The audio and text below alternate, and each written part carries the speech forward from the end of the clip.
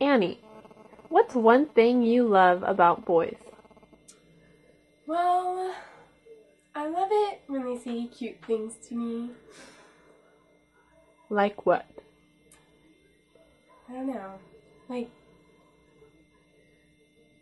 cute stuff. For example, I look horrible today. I don't think so. I think you look great. Thank you. No problem.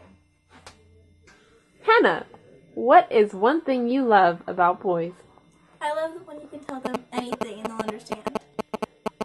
For example, Hey, I was going to tell you. What is it? Okay, don't worry. Okay, no problem. So, Katie, what's one thing that you love about boys?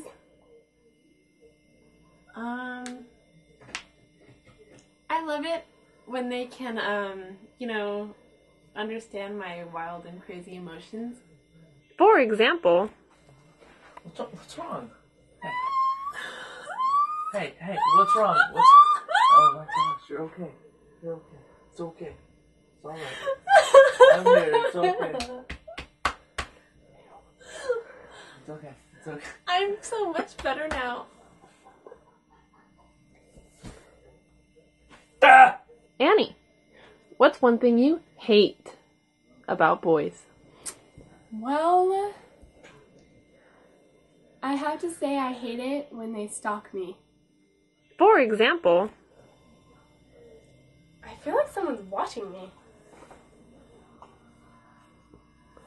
Hmm. Hannah, what's one thing you hate about boys?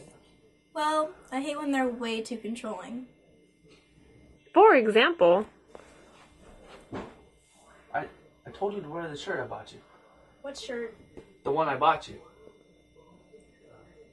Do you not like that or something? No, just didn't feel like wearing it. Hmm. So, Katie, what's one thing you hate about guys? Okay, I absolutely hate it when they hold everything inside of themselves and don't like.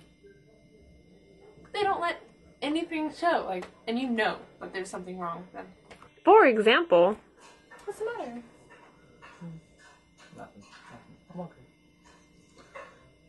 Are you sure you're not acting like yourself? I'm, I'm alright. I'm all good. Well, you know you can come to me with anything. I know. I know.